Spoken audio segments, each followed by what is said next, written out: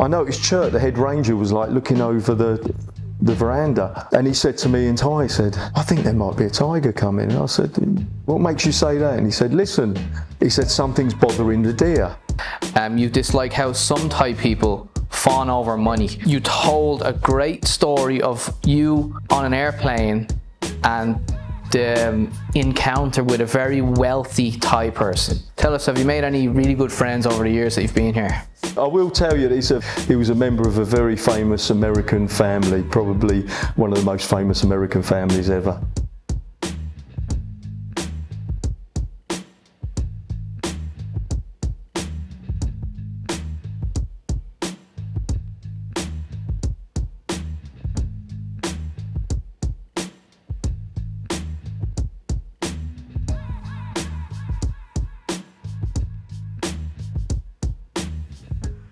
How's it going, folks? Pete here from Thairish Times. What's the story? How are you doing? I'm doing pretty well here on a Wednesday morning in Bangkok. I say Wednesday morning, but if you look behind me, I've got the curtains pulled. I'm trying to make it look like it's night time. You know what? The way YouTubers do that, you know, the nice, nice lighting. Anyway, I digress. We're going to meet a gentleman today called Karl. And some of you will be familiar with Karl. He has a YouTube channel where he hikes up mountains and goes through forests and crosses rivers all in Thailand. It's amazing stuff. I like his channel a lot. And Karl has been coming to Thailand for 35 years. So in this interview, we're going to talk to him about his life in Thailand, the things he's done, and the people he's met. Because he has some interesting stories, let me tell you. So without further ado, let's get into the interview. Oh, one more thing. We filmed this interview at a Bangkok condo. And if you're interested in having a look at that condo, I'll leave two videos in the description. You can check out the building and check out the rooms if you're interested. Anyway, if you can, like the video, leave me a comment, share the video if you can, and subscribe if you're not already subscribed. Right, let's go meet Karl. All right, Karl, how's it going? Yeah, yeah, yeah, good, Pete. Good. Yeah. Cheers. I appreciate you coming up here from Pattaya to do this interview today. No so. problem at all, mate. Now, tell us about your life growing up, because you're, you're from the UK, right? You're from London. Yeah. What was it like growing up in London as a kid? It was okay, you know, it was pretty good. I was brought up in a place called Northwood, which is probably the most famous because it's got the big uh, NATO base there, Northwood headquarters. Nice suburb of London, you know, just kind of nice balance. You can get on the underground and get into London in 30 minutes, or you can equally, you can be out in the green belt in no time at all, you know. Although it's the suburbs, there's like five or six golf courses within a couple of miles. So, uh, yeah, yeah, nice. It was, yeah, perfectly pleasant. Did you have any hobbies when you were growing up? I was always a bit outdoorsy, and when my mates were going fishing, I used to go and catch snakes. Just sort of like grass snakes, sometimes adders, you know. Uh, that was it, really. You know, at that time I wasn't I wasn't into travel. That kind of came later. Right, so I saw one of your videos and it said you first came to Thailand in 1987. That's right. That's the year I was born, right? yeah. So 1987, what was Thailand like back then? It was another world. Peter. You know, for me, it, it, was another world. You know, and it, it, wasn't just the fact that it was different back then. It was the fact that you weren't so aware of the differences. You know, kind of like everybody these days has got some image of Thailand, has got some awareness about it, but. In those days, people knew a, not le- uh, knew a lot less about it. So all you really picked up was what you heard from people. You know, the occasional documentary on TV, and what you heard from friends and that. So it was totally new world for me. I'd never been in the tropics before. I'd never seen a palm tree before. I'd never seen a whole coconut before. And when you came over here, were you here for a couple of weeks or how long were you here for in 1987? That first trip was just under three months. So it was it was a good length. Three months. Yeah. Now, I've been a bit curious because I've been looking at your channel and I was thinking, has he stayed in Thailand for 35 years or has Karl gone back and forth or, you know, did he live in, in the UK and then come back over here? Uh, it's Sorry. been back and forth. I mean, I, have lived in Thailand various uh, various points. This time I've lived here since 2016. The first time I lived in Thailand was 1990. So, but I've spent time here every year since 1987. Okay. So the next thing I saw on your channel was you mentioned in 1991 you were teaching English in Bangkok and then you moved from teaching English to being a tour guide in Khao Yai National Yeah, Park. yeah, that was Can you tell us that 1990. yeah, yeah, that was 1990. Uh, yeah, what happened was I, I was teaching English at uh, ECC Siam Square, you know, and I, you know, it was all right, but I didn't enjoy it that much. And it was coming up to a holiday, you know, a Songkran holiday, and they, uh, we were where I was staying, Soi Si Bamphen. They had posters. Had put posters down, and I looked at one of them and it was offering tours to Khao Yai National Park, which, you know, I, read further and it said they had wild elephants and wild tigers, and I just thought, what? They got wild tigers within a few hours of Bangkok, you know, and that. I said to my friend Mike, who's also teaching us, I said, Mike, we've got to go there, you know, this holiday, we've got these days, we've got this time off, we've got to make good use of it and uh, and he was up for it. So yeah, we were a bit naive. We didn't realise that that on the Songkran holiday, all the migrant workers travelled back up north, northeast, wherever they come from. And we went to Hua Lamphong train station thinking that we were just going to jump on the train going to Pak Chong, where the tours left from. And of course, we got there and the place was just totally rammed. I mean, totally. All the trains had just people in them solid. All the seats were taken. People were standing up, and uh, I didn't like the look of look of it at all. But I just it, even in those days I could read Thai a bit, and and I remember looking out a, a couple of uh, a bit further along the lines, and I could see a couple of carriages that were marked as going in the same direction even though they weren't attached to a train. So I said to Mike, look, I think these might attach to the train. You know, I think the train might pull out and then reverse on and click on. You know, should we try it? And we decided that we had nothing to lose. There was no way we were gonna we were gonna travel in the in the carriages we could see. So. Uh, so we went across and sat in there, and sure enough, it was it, that was right. You know, the the train pulled out and then connected back on. So we had a seat, and then uh, we arrived in Pak Chong, and we were met by this guy called Bunsub, who ran Khao Travel Tours. And we had a great time going around the national park. And Bunsu was a nice guy, but his English wasn't that fantastic. His English wasn't that great. So I found myself kind of having to translate for the other tourists a bit. And at the end of it, he said, Look, Karl, what are you doing? I said, Well, I'm teaching English in Bangkok. And he said, Do you want to come and help me? And, and you know, it was it was no contest, you know, the thought of like going through the jungle and looking for tigers and elephants or teaching English in Bangkok. so, uh, so that was it. I just gave him my notice and I joined Yai travel, travel tours. Now you had an encounter with a wild tiger I've had when a you're couple. at Yai. Yeah, I've had a that. couple. Uh, what happened was after I'd worked there for about a year, I still hadn't seen a tiger. And one day we had some uh, Kiwi tourists, some tourists from New Zealand came up and they, they said to me, there's three of them, and they said, look, we really want to see a tiger. And I just said to them, forget it, you know, I've worked there for a year and I haven't seen one yet. I said, sometimes you find the pug marks, you know, sometimes you, you, hear them calling even. I said, but I've never seen one. I said, but having said that, there's one area I know in the park where they do still see them from time to time. And I said, I know the rangers who man that ranger station deep in the jungle. I said, I think that if we take them some meat, some chicken, and some moonshine whiskey, some of the lao khao. I said, if we take them, they'll be pleased to see us. And if they're pleased as is, they'll probably invite us to spend the night at the ranger station, which officially they weren't allowed to do. Because the chances if you're going to see anything worth seeing, it's not going to be in the middle of the day. You know, you, that place is quite deep in the jungle, so you'd have to, you'd have to either hike in through it in the dark or hike out in the dark. You know, so it's the, the best option is to spend the night there.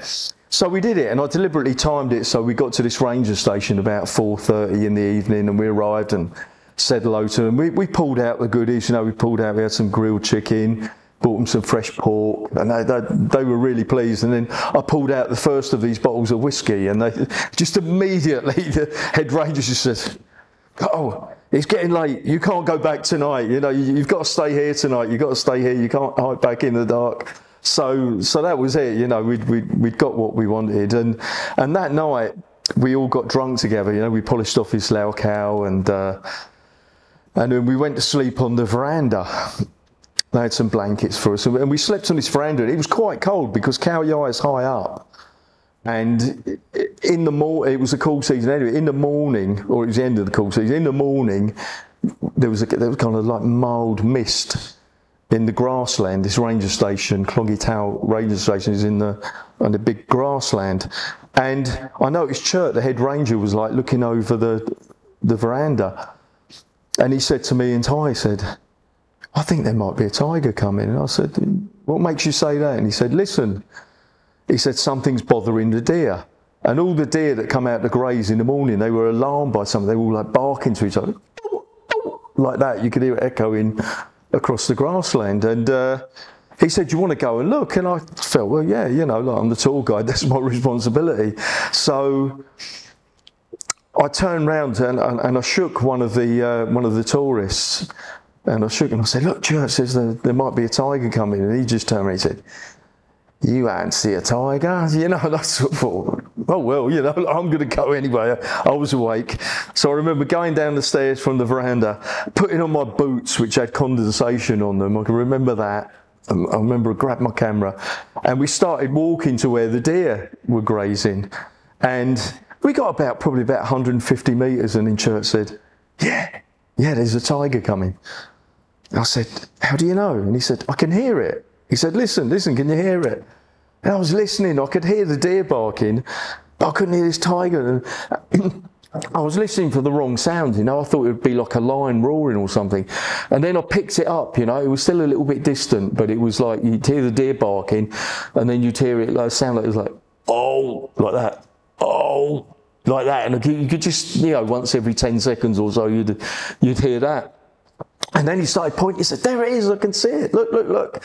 And I'm saying, "Where, where?" You know, and I just he was pointing. I couldn't see it, and I was thinking, "Oh my God! You know, I've waited all this time to see a tiger, and I've missed it." and eventually, it becomes silhouetted against the bush, and I, I could see it clearly, and it, it was fantastic. It was a big tiger, and it was just casually strolling, very early morning, probably about 7 a.m. Uh, a bit of mist still coming up from the grassland. And it was just walking along calling and it you could tell that it just wasn't hunting. If it had been hunting we wouldn't have seen it you know it would have been creeping around. And it, it was totally fascinating. It, it was fascinating watching the deer and how they were reacting to it because the deer were alert. They they were up on their their ears were pricked up and they were barking to each other but they weren't running off. They didn't run off. They just stayed where they were. And, this, and one of the deer actually followed the tiger for a while. I was about 30 yards behind it, and it would just follow it, and it would stretch its neck and its front legs up and just watch it and then it would just bark to the others and let them know where it was you know. It was absolutely amazing. Uh, got to see it for about 10 minutes got to take lots of pictures which are uh, on a video on, on my youtube channel and uh, yeah that was it. Yeah marvelous that's a really crazy story, yeah. That's because um, I watched this documentary a couple of months ago, and it, it said that like even to, till about hundred years ago, there were lots of tigers in uh, Thailand and all up through um, I think maybe uh, across Myanmar into India. That oh, was the yeah. area, and people were absolutely terrified of them because terrified of them because they would come in into these small villages and like literally pull people out of their beds. Do you know, I, I, was really kind of confronted with something that brought what you were saying home to me, and that was, oh, it was 1991 uh, in Sangkhlaburi, not long after I'd started working at, at Khao Yai. Uh, I spoke to this old lady, and I was the first foreigner she'd ever spoken to directly, you know, because I could speak Thai. And I was talking to her and I, I was telling her that I was working at Khao Yai and, you know, and I was telling her about, you know, like uh, tigers need protecting and everything. And I asked her if she'd ever seen a tiger and she just looked at me in Thai. She said, terrible animals. She's going, tigers are terrible animals, horrible animals. And then she told me about a period she called Don Yipunma, which means the time the Japanese came, Second World War. And, and she told me that, you know, they lived in the, in the jungle and the tigers would come and eat all their livestock, all the cattle at night. So you know, like every night they used to have, they used to take shifts, and guys used to wait up in trees, you know, to kind of like see off any t- marauding tigers that came around. And she told me that her own brother was attacked by a tiger. He was walking on a jungle trail. He was attacked by a tiger. They found him. He was badly injured. And in those days, it, it, could take five days a week to get to the nearest doctors. And his wounds festered and he died. You know, he died a horrible death. And it's, it's just kind of really made me think, God, you know, we've got this kind of attitude that we've got to protect them. And, you know, everybody knows that. And now they're very real. And I'm talking to a lady who had these terrible experiences with them when she grew up. And who was I to tell her that, you know, like her opinion of them was wrong, you know? It was uh, just like what you said, Pete, you know, they, they, could be a real pest.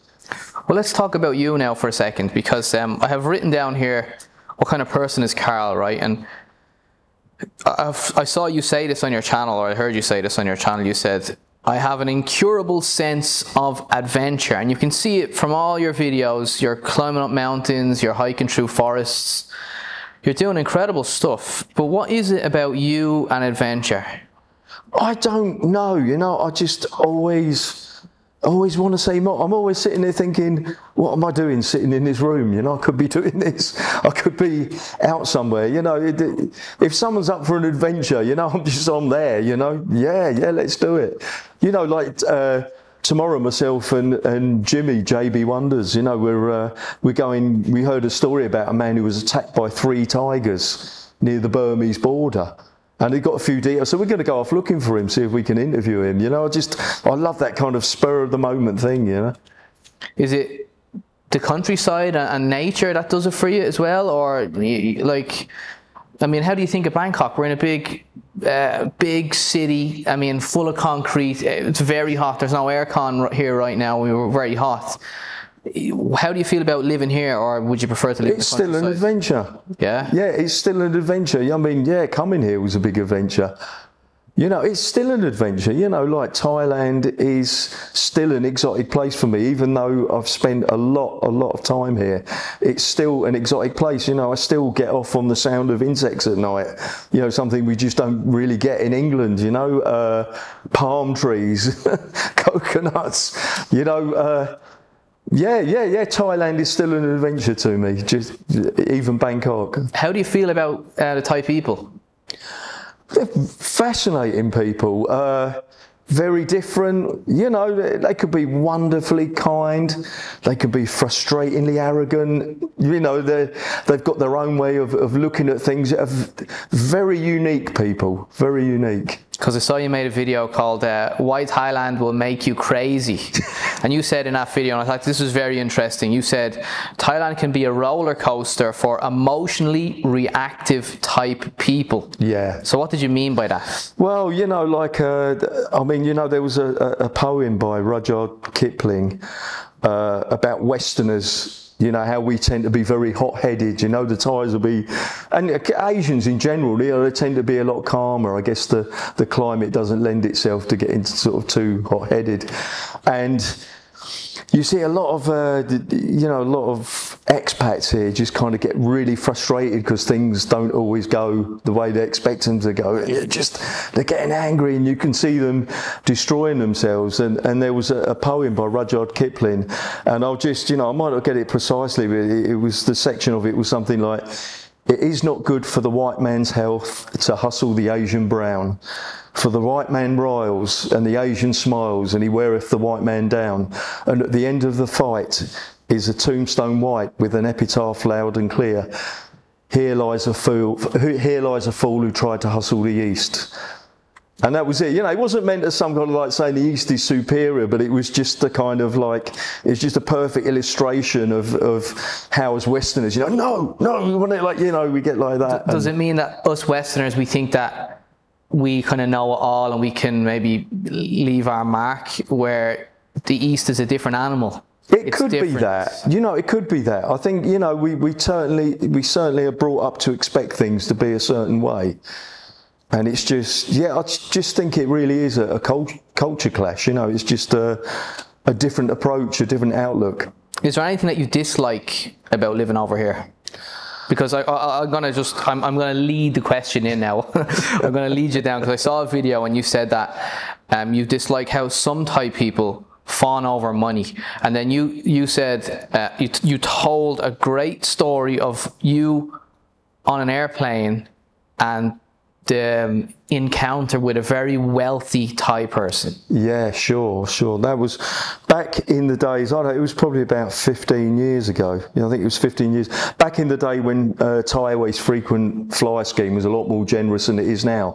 I managed to get gold card, which was the top status then, and somehow I wangled it so that I got a free first class return flight in the month of my birthday, uh, London, Bangkok, Bangkok, London. Now, on the return leg, yeah, I went to check in. You met at curbside. We was taken in uh, to somebody took our things to the check-in. We were taken on a buggy to the first class lounge. Now the first class lounge had lots of little satellite lounges around it. And I remember sitting in one of these lounges eating, and I remember seeing there was a family in one of the lounges, and they had an armed guard. You know, they had soldiers hanging around outside, and I didn't think much of it. And when it came time to board the flight, uh, the buggy came to collect me, and I went. Uh, I went. I got on the flight, and you know they're all a bit. It's the only time I've ever flown first class, really. But the, the hostesses are all, you know, they're a lot friendlier, and they, they come up and ask your name, they get talking, and I started talking Thai with this hostess. And about five minutes later, the, the other first class passengers came in, and the vast majority of them were, were this family that were under armed guard in the lounge. You know, I still to this day do not know who they were. You know, important. I don't know if it was a military person, a government figure, or even an entertainer. I don't have. I, I don't have a clue. But anyway, he sat in the seat behind me. And before we took off, he, he turned around to the uh, to the hostess that was talking to me, and he, he said in Thai, he said, "Excuse me," he said, uh, "This is a Thai aircraft, isn't it?" And she said, "Yes." She said, "If this is a Thai aircraft, how come we've got a foreigner sitting in the front seat? Surely we should have a Thai person." leading the way, sitting in front, you know? and I'm just kind of, I can understand, but, and then she said, Oh, he can speak Thai, sir. And it, without hesitating, he just said, No, Thai people, uh, no, Farangs don't speak Thai. You know, he didn't even acknowledge what she said or even think about it. He just said, No, you're wrong. You know, I just thought, this is a man who's used to getting his own way, you know. How did uh, you feel when he said that? Um, you know, Thai should, a Thai person should be leading the way. I thought it was very arrogant. You know, yeah. yeah, I thought it, I thought it was very arrogant. Yeah, the whole impression was like you say. You know, he was very moneyed.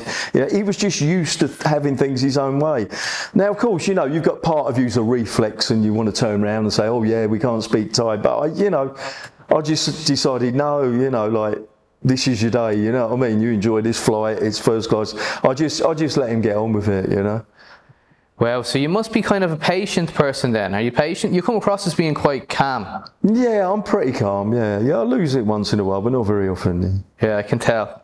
So one thing I like about you is that you speak Thai really well, but you don't brag about it in your videos. You do it in a nice, humble way where you speak to um, regular Thai people or people that you come across on your adventures. Yeah, and yeah. you capture really interesting moments with them. Yeah, yeah, yeah. Uh, I just, you know, at the end of the day, it's just communication, you know. So to me, it's like it's not really any different to, to speaking English. Yeah, I'm quite happy if Thai people speak English. They're usually very proud of that fact. So by kind of letting them speak English or letting them letting them kind of uh, build face up for themselves, you know. So I just I just let them do it. And to me, there are people who've known me for quite a long time, Thai people, and not known I speak Thai, you know, because they because they speak English. It's just yeah, when it's necessary, you know, when it's necessary, or when I think that my Thai is better than their English. Now, in the '90s and the late '80s, when you were coming over here, there were a lot of scammers. Bangkok was quite famous for, for scams Oh, at that time. Definitely, Peter. Definitely.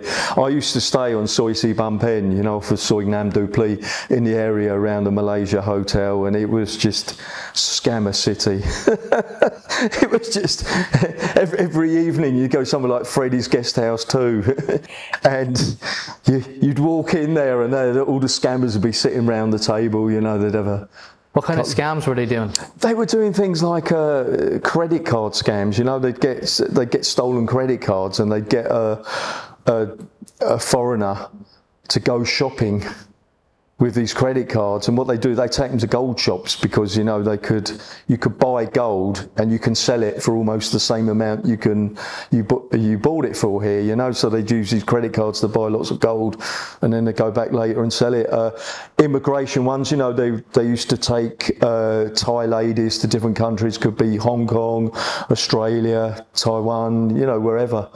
Uh, America, there was a lot of them going on. Gold, there was a lot of gold bullion smuggling. There were travellers' checks. You know, people in those days, you know, no, nobody had an international hole in the wall, so they'd uh, everybody would bring travellers' checks, and and you could. Uh, you could sell them at a reduced rate and then report them missing, claim a refund, and then they'd go around and try to cash the travellers' checks that you'd sold to them. So yeah, yeah, there was a lots of scamming. Karl, you come across as being a fella that has a lot of friends, or you're quite a sociable guy, right? Tell us, have you made any really good friends over the years that you've been here? Sure, yeah. You know, one I think one of my best friends I ever met here was a was a guy called Bill. You know, he was a he was a very uh, very interesting character. You know, he'd kind of uh, dedicating dedicated his life to travelling, and he was quite Bill was quite well connected, so he could have had. You know, he, he was a waiter. He was a waiter in Texas on South Padre Island, but you know he was very connected, so he could have had a, a much more kind of uh, high flying lifestyle if he'd wanted to. You know, he could have like his connections could have fixed him up in virtually any job he wanted, and uh, but he just loved the the travelling lifestyle. This this was typical of Bill. This was typical of Bill. I, I can remember one time he said to me when he was over here, he said, "Look, Karl," he said, "in a few months' time, a friend of mine called Duff is coming out here. You know, she's never been to Thailand before. Would you show her around?" And I said. Yeah, sure, Bill. Yeah, yeah, no, no problem. He said, right. He said, what I'll do is I'll give you the phone number of the guest house, and, and when she gets here, I'll ask to give you a call. I said, yeah, okay, yeah, no problem. And a few months later, that I got, I was upstairs in at the guest house, and I, somebody come up, knocked on the door, and said, "Someone's on the phone for you." So I went downstairs, and I answered the phone, and it was this lady called Duff, and she she said, "Hi, Cole." She said, uh, "I'm Duff. I'm Bill's friend." I said, "Yeah, yeah." He told me about about you, and she said, "Bill said that you'd show us around. You know, I'm here with my, my girlfriend. I can't remember what her name was, but I said, sure, sure, Duff. You know, what have you got in mind?" And I thought she was going to say shopping or the Grand Palace or something, and she said, "I hear the nightlife's really good here," and I said, "Yeah, yeah, yeah, it's pretty good." And then I said, Well, look, I could take you to see Patpong. And she said, Oh, yeah, yeah, Bill told me about that place. So I asked her where she was staying, and she said, The Oriental Hotel, which back in the 80s, I think that was voted as the best hotel in the world every year in the 80s. So I said to her, well, that isn't too far from Patpong, you know, and I told her how to get there and, uh, and I arranged to meet with her at the entrance to Patpong and, and we met up and I, I thought, you know, I was a bit, didn't know how she'd take to the place, you know, because Patpong was a, a lot wilder back then, a lot, lot wilder. And so I thought, well, I'll ease her in gently, you know. So I took her to this bar that used to be called Mike's Place that was on Patpong 2. It used to be near the, the car park uh, where the George and Dragon was. So I took her into Mike's Place because it was laid back and the girls there knew me, you know. So I walked in there and the, and the girls sort of made a bit of a, a fuss of Duff and a friend and they, we were all talking and buying drinks and it, you know, it was all very civilised. And, and then Duff turned round, round to me and she said, well, Karl, you know, this is very nice, you know, they're nice girls and that, but, you know, I thought there'd be more to the place. So I thought, okay, you know, I'll, I'll test her a bit further, and I took her to one of the King's Group bars, you know, where the girls were a bit more sort of scantily clad and, and dancing. So I took her there and we had a couple of drinks there and she's saying, oh, they're, they're beautiful women, Cole, you know, beautiful women. But I really thought there'd be more to this place. And, and by this time I think, okay, okay, Duff, you're, you're ready. You're up for it. And in those days, one of the bars was called Super Girls. And I thought I'll take him to Supergirls, and uh, we timed it perfectly. I can't remember whether it was 10 p.m. or 11 p.m. We walked up the stairs into Supergirls, and they used to have this show, and they used to have a full ceiling that opened up. And we walked, we got upstairs just as this, they started playing the music, and the full ceiling was opening up. And from this full ceiling, all of a sudden, uh, a Harley Davidson motorcycle would be lowered on chains and on this Harley Davidson motorcycle, there was a Thai couple and there was something going on. And Dove just looked at me really shocked and she said, is that for real? And I said, you work it out, Duff. anyway, she, uh, she, afterwards, she said, thanks very much, Cole. You know, it was a fantastic night out. She said, look, she gave me a card. She said, if you're ever in New York, give me a shout. And I, I said, no, pleasure, Duff. Thank you. Thanks very much. And, and we said goodbye. And a couple of months later, Bill came back. And we're sitting down the first day having something to eat. And he, he, he said to me, he said, oh, you know, Duff said, thanks very much. You know, you, you know, she had a great time. And then he said, and so, and he named this person who was quite sort of famous. He said, and they said, thank you too. And I said, she was associated with him, and, and he said, "Yeah, yeah, yeah, that's his girlfriend." so I thought, you know, like I didn't realise at the time, like who I was taking out and showing all the uh, the seedier side of Patpong to, you know. I think you know my next question is going to be, who's the famous person? I, I can't tell you. I can't tell you. He's, you can't tell us. He's definitely still alive. He's definitely still active, and he's definitely still in the in the media attention. Are we talking occasionally? Very famous guy. Uh, well, you know, you're not talking like a, a, film star like Tom Cruise or something like that, but yeah, yeah, especially in America. Yeah, definitely. Yeah, everybody would have heard of him. And if I push you again to give us a, maybe another clue or a name or maybe the first letter. No, no, I'm. I'm not, I'm not going to do. It. I will tell you that he's a very famous. He, he, was a member of a very famous American family, probably one of the most famous American families ever. Okay, well, we'll let the audience leave it up to the audience to, to go in the comment section. Who is it? You can all debate it in the comment section now. I want to see the comments. I want to see you hashing it out between yourselves. Who you think it is? Remember, it was 30 years ago as well. Yeah. Right, so Karl, um, are you here for the long haul? You see yourself in Thailand for the foreseeable future, oh, 5, 10, 20 years? Yeah, I want to. Yeah, I want to remain here. I mean, you know, nobody knows exactly what's ahead in the future, but I'm happy here, definitely. Yeah. Yeah. And uh, you plan to make YouTube your like sole full time income? Uh, uh, things related to it, yeah. I'd like to do something, you know, I'd like to expand it, take it a bit further. But yeah, I think, you know, I've got a knowledge of Thailand that in some ways is pretty unique, you know, because I always had that kind of adventurous streak. So, you know, I've always travelled. You know, when I met, when I met Paddy Doyle. a few months back, he, we were just having a, having a conversation when we first met, and I said, "How many provinces have you got to go?" And he said, "Well, I've got two. I've got Chachoengsao Sao, and then Phuket." And I said, well, Phuket was the last province I visited as well. And he said, You visited all the provinces? And I said, Yeah. He said, You're the first person I've met who's visited all the provinces. He said, When did you do it? And I said, Well, the last one was Phuket, and that was 2002. So, and it, so I've visited all of the provinces, and uh, that's always been. Did you do that in one go, or were you doing that like at one holiday? No, no, it wasn't like you know, like Paddy's done it. You know, he's very clever. He done it in a kind of uh, uh, concise idea. No, you know, what happened was I just loved travelling around. So, you know, even when I was teaching English, if we had some time off, if we had a few thousand baht in our pocket, you know, 30 years ago, myself and my friends would just jump on third class buses and we'd just hop off wherever we felt like it. And we'd always get into some adventure and uh, we just went looking around. And one day I just kind of like looked and I just thought, crumbs, there's, there's only five or six provinces that I've never actually visited, you know? So, uh, that was it, you know. I just thought that then it became like a mission to tick them off, but there was only sort of five or six of them at that time, you know. Which is your favourite province? Probably, it's very hard to say. Uh, at the moment, it's probably Bueng Kan, which is the newest province. Uh, Bueng Kan is northeast Thailand. It, I think it's in between Nong Khai province and Nakhon Phanom province, but it's the newest province in Thailand. It's the 77th province. But it's just really rural, north. It's beautiful, and it's just got some of my favourite places to visit. You know, some of my favourite kind of adventurous places to visit are there.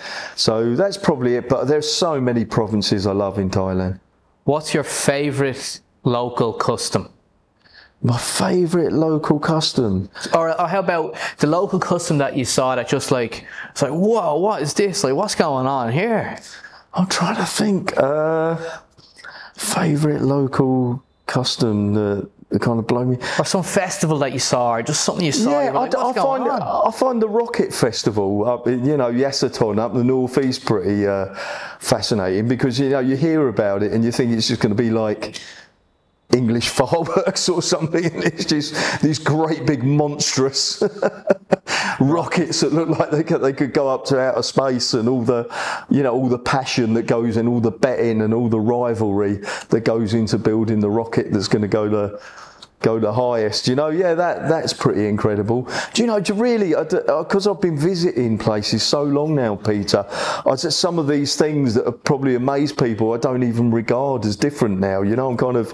After 35 years, I'm just kind of used to it. You know, it's I have to shift my perspective to sort of even answer the question. Are you a spiritual person? Uh, do you know? I don't. I don't. I'm not religious. Uh, Spiritual. I think I am, but yeah, it's kind of very unique to me. I think, like most people, you know, I've got my own ideas. Because you're going up to mountains that have, you know, small little temples and it's completely quiet and peaceful up there. Yeah. I imagine going up there be just super tranquil and just a place that you can just look down on the world and be like, whoa, like there has I to be something more I than this. What's more than this? I think it's very grounding, you know, and I think, uh, you know, just being honest, I think a lot of people could really do with that, you know, they kind of, they get caught up in their everyday life and their life might be hectic and I don't think they really appreciate what kind of some of these places can do for them, you know. If you were going up a mountain on your own, would you tell people before, like, hey, I'm going up this mountain? Like, if I'm not back in a couple of hours, like, send out the. Yeah, I've never actually sort of said that to somebody if I'm not back in a couple of hours. But yeah, obviously it's a sensible thing to do sometimes. You know, I've had the, the opposite where I've, you know, I've got myself in situations I think, well, I should have sold somebody really, you know. Did you ever get lost? yeah, yeah, I've got a video where I got lost at Khao Yai National Park. But I mean, there, there was a, a limitation to how long, how lost I could be because I had a GPS unit on me with the trail loaded. But you know, like in the jungle, if you get off a trail even 10 meters, you can't see the trail, you know, and uh, if you're not walking on a trail, you know, you can be fighting for every foot just to get somewhere. So, you know, like, uh, also, you know, in the jungle, you've got no method of orientation. You can't, sometimes you can't even see the sun. You know, you've just you can't see landmarks. You can't, it's, Does it happen often over in Thailand where people are on a trail and they go off it and they get lost? Because the weather over here and the insects and all that, I mean, if you had to spend 12 hours in the jungle, let's say you come out in a bad way. It certainly happened at Khao Yai on the trail that I got lost on. Yeah, it, it got happened. Uh, it happened, I think, probably about four or five years ago. Now there were a group, uh, maybe three tourists who went on that trail and they got lost. And I think I think they were lost for about 36 hours, which is a long time. You know, and eventually they found them. You know, they sent out rescue people and found them. But you know, recently it crossed my mind that that time I got lost. You know, if I if I hadn't have had the GPS on me, I hadn't told anybody I was on that trail, and you know, because of the situation, people just weren't using. Do you have the survival skills to like stay out for an extended period of time if you do get lost? Do, do- do you know, probably, probably not, Pete. You know, I was sensible enough to have a GPS with me, and uh, and but no, you know, no, I haven't really done any of the Bear Grylls stuff, Bear Grylls stuff, where, uh, you know, no, No, I'm just being honest. Yeah. I'd like to be able to tell you I could do a Rambo and and jump on a wild boar with with a stake, but uh, yeah. yet to be tested. That one. Right, so let's get into the deep questions, right? If you could go back and meet your 20 year old self, 20 year old Karl, and what advice would you give him? Oh, wait a few years before going to Thailand. Why? Why is that? I think you know I, I run my own business from a very early age back in England, and so I was kind of yeah I was I was taking that path, and uh, when I found Thailand, like the the train definitely left the tracks in terms of anything like remotely resembling a career or anything like that, you know. So yeah, it was it was a big big big distraction. Well, you've had a great adventure, you know. Oh yeah, no, I, I didn't say I regret it, you know, but it, it's just, yeah, you know, I can look back and see that in certain ways I could have been a lot more sensible. So you don't have any regrets. No, no, no, you can't. No, no, you know, yeah, it's very hard, isn't it? it? It sounds a bit contradictory, doesn't it? What I've said, I would advise myself. No, no, I've had a great life. I really have. You know, there's some incredible experiences, and I'm still having them. All right. Well, listen, it's been a great interview. Thanks very much for your time. Yeah, thanks very much, Peter. And what I'd like to do is I'd like to for you to check out Karl's channel. I'm going to leave a link in the description.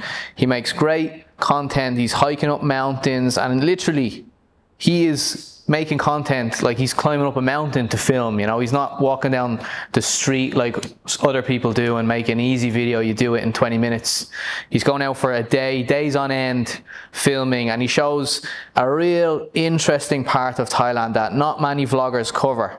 So check out his channel, link in the description. If you like this video, subscribe to our channel, like and leave us a comment because it helps me out. I'm always saying it. And if you can, share the video because that helps me out as well. So cheers, thanks very much. We'll see you on the next one.